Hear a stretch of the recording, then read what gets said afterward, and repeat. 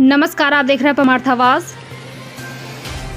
खबर शाहजहांपुर के विकासखंड खुदागंज की। ग्राम पहाड़ीपुर बिमिया में रात्रि में झांकियों का प्रोग्राम दिखाया गया।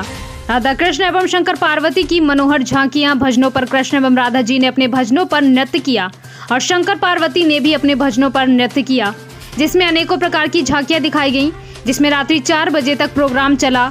क्षेत्र के लोगों ने झांकी प्रोग्राम एवं कथा पांडाल की शोभा बढ़ाई और सभी लोगों ने वहाँ पहुंचकर झांकी प्रोग्राम का आनंद उठाया। इसी के साथ ही राधा कृष्ण के साथ भक्तों एवं माताओं बहनों के साथ रंग गुलाल की होली खेली गई, जिसमें राधा कृष्ण, शंकर पार्वती, गणेश जी सभी साथियों के साथ सुदामा चैत्र की भी झांकी दिखाई गई, जिसमें कृष्ण और सुदामा के बीच बचपन में इतनी गाढ़ी मित्रता थी, जिसको सुदामा चरित्र की झांकी के साथ बचपन की मित्रता आज भी प्रकट की जाती है।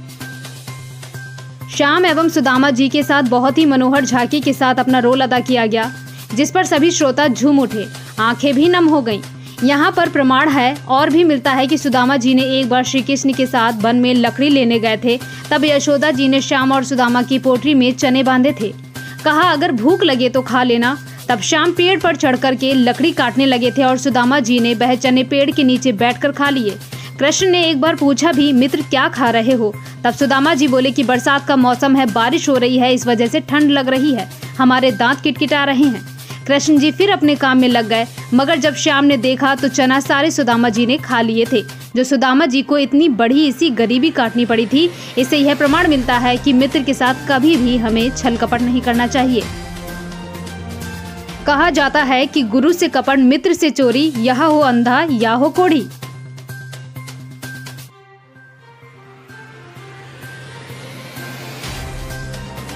बरेली मंडल संवाददाता श्री ओम यादव की रिपोर्ट।